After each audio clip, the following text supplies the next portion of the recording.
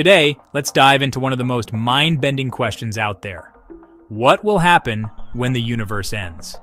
Strap in, because we're about to explore some cosmic concepts that will blow your mind. First up, we have the Big Freeze. Imagine the universe expanding forever. As it does, galaxies drift apart, stars burn out, and everything moves further and further away from each other. Over trillions of years, the universe cools down and reaches a state of absolute zero, where everything is too cold to sustain any form of life or energy. It's like a cosmic freezer, slowing everything to a halt.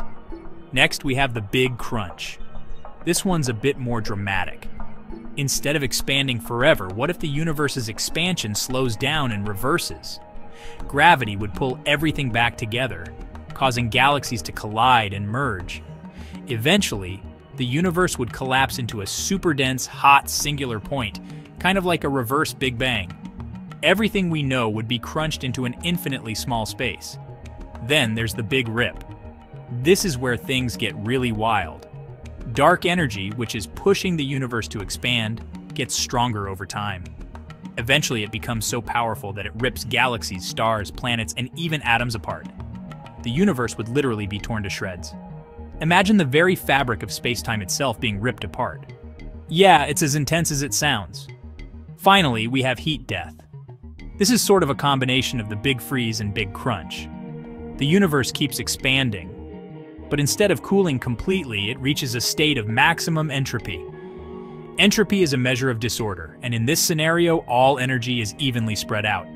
No more stars, no more galaxies, just a vast uniform soup of particles.